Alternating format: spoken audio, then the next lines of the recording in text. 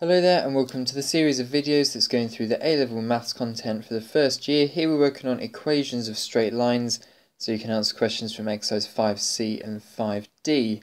So just a little recap from what we learnt in the last video. Um, the equation of a straight line looks like y equals mx plus c where m is representing the gradient or how steep our graph is. For every one we go across we're going to go up by that gradient amount and C is where we start on the y-axis. Now the equation that's above here is a way that we can work out the gradient of our graph given two coordinates.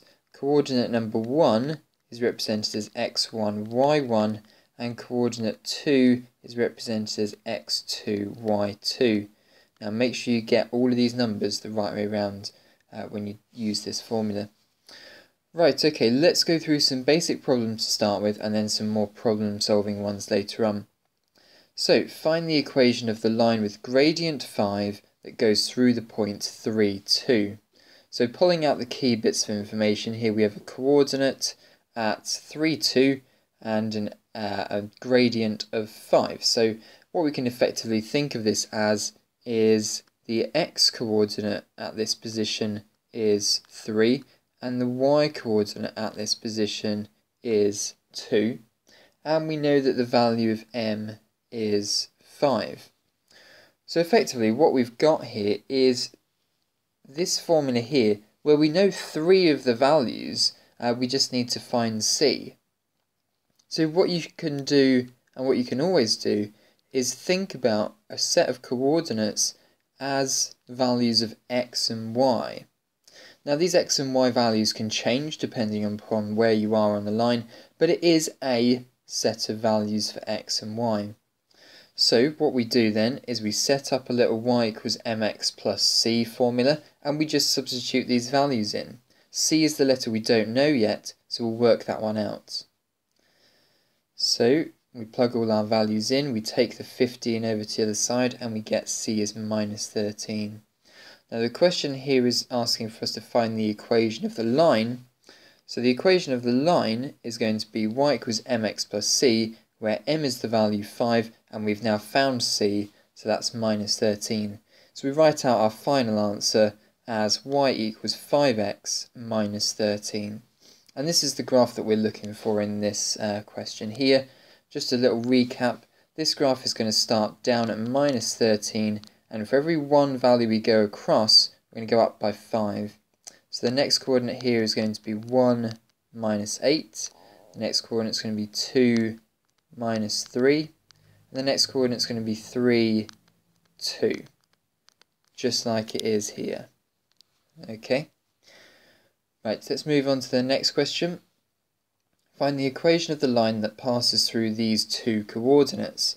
Okay, so what we're going to have to do now is bring this rule, or this uh, formula, in to work out the value of m. So what we're going to do then is we're going to set, it looks like this coordinate here as coordinate number 2, and this coordinate here as coordinate number 1. It's really important you get the numbers in the correct positions with these. This is coordinate 2, so we first need the y coordinate for coordinate 2, so that's a minus 1. Then we need to take away the y coordinate for coordinate 1, that's 7. The x co the, the second coordinate x value is going to be 3, and the first coordinate x value is going to be 5. So we plug them in like that, and we're going to get some double negative action happening here. And then cancel all that double negative out, and you get m is 4. Great, so now what we can do is we can use either one of these coordinates along with our value of m equals 4 to find the equation of this line. So what we're going to do here is use the second formula here, set up a y equals mx plus c, and the only letter we don't know now is this letter c that's at the end. So what we're going to do here is we're going to use the first coordinate, it doesn't matter which of the coordinates, I'd always pick the coordinates with either both positive numbers or easier numbers. Um, plug it into the equations. Remember, x is the first uh, value in this coordinate, y is the second value in this coordinate. So the y value will go here, 7, equals the m value we found out before, which was 4, and the 5 value as x goes in here. We don't know what c is, so let's go ahead and work it out. Again, it's appeared at minus 13. It's not always going to be minus 13, believe me. Um, it's just appeared as minus 13 again. So what do we do to write out our final answer? Well, we combine the two bits of work that we've just done. We found y equals, sorry, we found m equals 4, and we found c is minus 13. So let's rewrite out this equation again with these two values in there. And we're going to get y equals 4x minus 13. Okay, the next question is a little bit more tricky and there's a lot more work to it, so let's take it carefully bit by bit. The line y equals 3x minus 9 crosses the x-axis at coordinate A. We're probably going to have to find this coordinate A.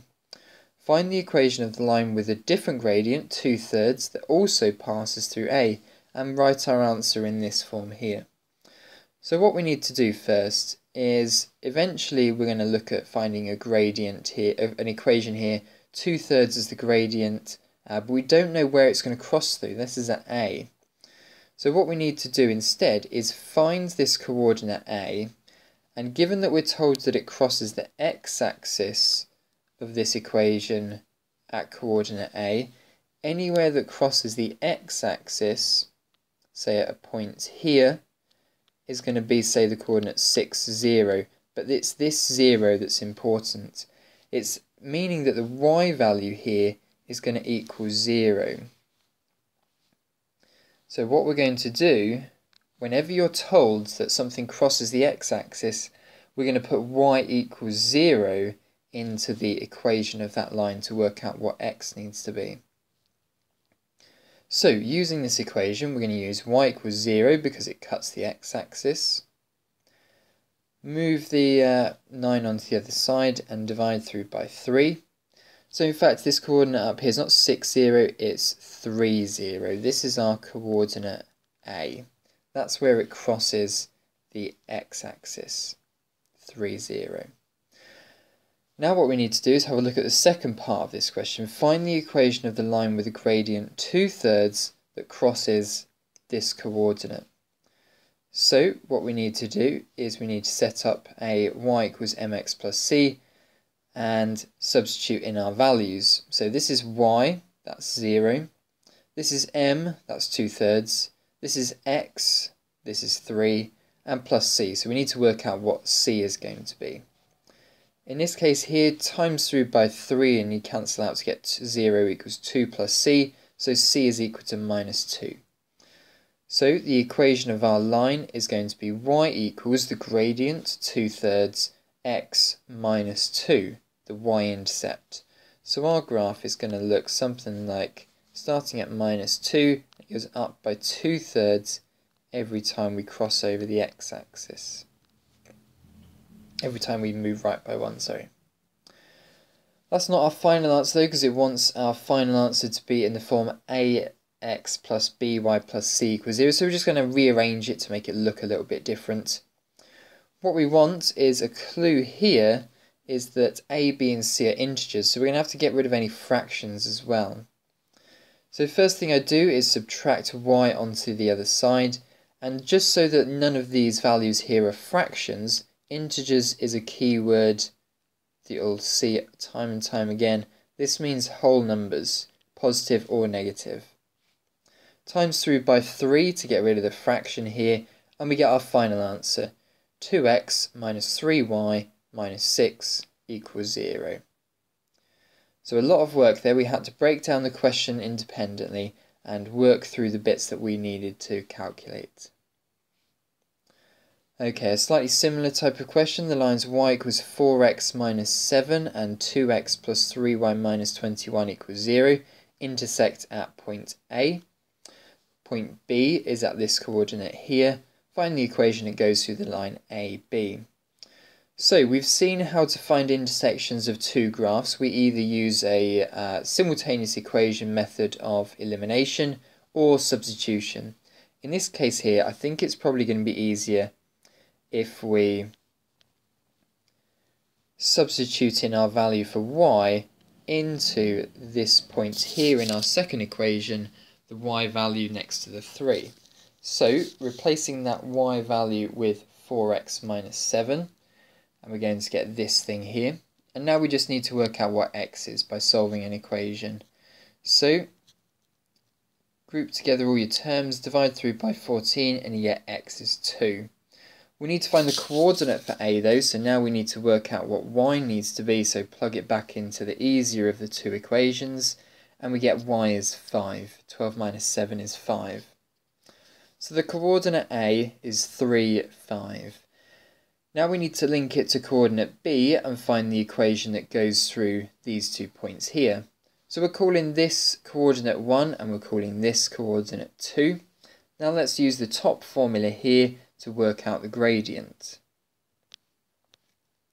Make sure you bring along all the negatives with you. If you've got x2 is minus 2, then bring along that negative as well to the party and uh, include it in your formula.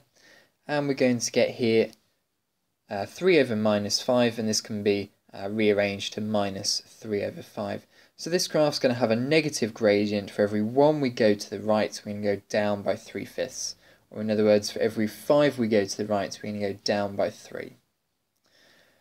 Right, so now that we know that m is 3 fifths and we know a coordinate, we can now work out the equation of the line that goes through AB. Um, so let's substitute in the values into y equals mx plus c. So in this case here, we're going to use this coordinate here. So 5, remember, is the y coordinate, 3 is the x coordinate, and 3 minus 3 fifths is the um, gradient. So, bit of rearranging here, we're going to get 34 over 5 is the value for C. So we're going to get a final answer of y equals minus 3 fifths x minus 34 over 5. And times through by 5 just to make the equation look a bit nicer. And we'll get that. And adding both of these bits that are negative here onto the other side, and we'll get 3x plus 5y plus 34 equals 0 as our equation of our line. Now, given that it didn't say whether we had to write it in a certain form, we could have either stopped here or we could have carried on to this form here. If it doesn't say, then both of these forms here are going to be correct. Um, you don't have to mind read the examiner to tell what form they want it in. Right then, your turn to have a go at these questions here. Pause the video and try them out.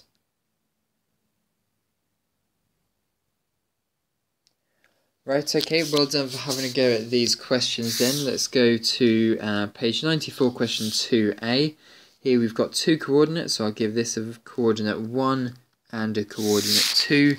And the gradient here is going to be 4, so 8 take away 4 divided by 3 take away 2.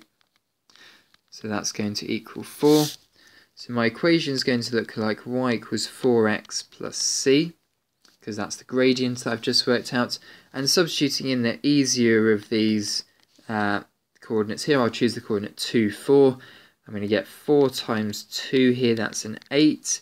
4 take away 8 onto the other side, and I get minus 4 equals c. So my final answer here is 4x minus 4. Okay, so hopefully that's familiar to you. If that's a bit tricky for you, then make sure you have a go lots of practice at this because it will come up time and time again in A-level maths. Right, so the line y equals a quarter x plus 2 meets the y-axis at point B. The coordinate c is minus 5, 3. Find the gradient of the line joining points B and C. So just a reminder, if any point crosses the y-axis, then it has a negative, sorry, if it crosses the y-axis at point B, then the x-coordinate along here is 0. And in this case here, it's really easy to pull off the y-axis intercept here because that's just the value 2. We remember that y equals mx plus c. The plus c bit is the y-axis intercept. So the point B is 0, 2. So that's where it crosses the x-axis. 0 because it has no um, left or right movement, so it has a 0 uh, x coordinate. The point C has the coordinate minus 5, 3. So now I just need to find the gradient of these two points, so I'll call this gradient um, coordinate 1 and coordinate 2. It doesn't matter which way round you call your coordinates. If I could have called coordinate 2b, I could have called coordinate c1, because if it was the other way round, then it'd just be either positive or negative on the top and bottom of the fraction. So m is equal to 3 take away 2 over minus 5 minus 0. So in this case here it's going to be 1 over minus 5 or I would simplify this to minus a fifth. So in this graph here, if we connect B to C, then it's going to start at the coordinate 2, at the coordinate B. For every one we go across, we're going to go down by a fifth. So a very, very, very flat graph here. It go down like that. Okay, so um, have a go at the exercises in 5C and 5D. Make sure you've had lots of practice with them. Persevere through the difficult questions and ask your teacher for help if you need any. Great, thanks for watching.